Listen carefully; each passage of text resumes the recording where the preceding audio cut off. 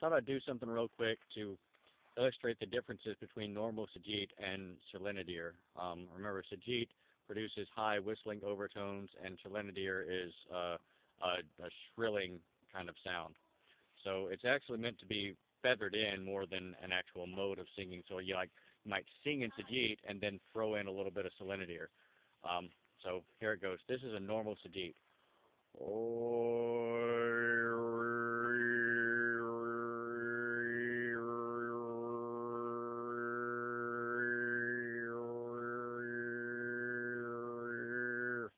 Try to go a little higher there.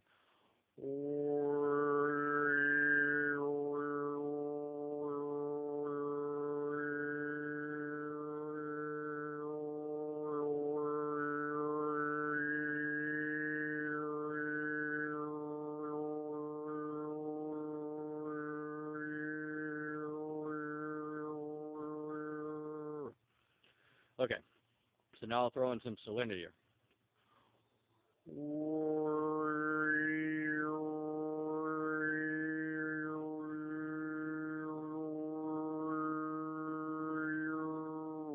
So, um, are you hearing the difference? The tongue gets pushed forward, and it forces the the harmonics, um, the um, resonance. There we go into the back of the teeth, and that's what what gets that shrill sound. So.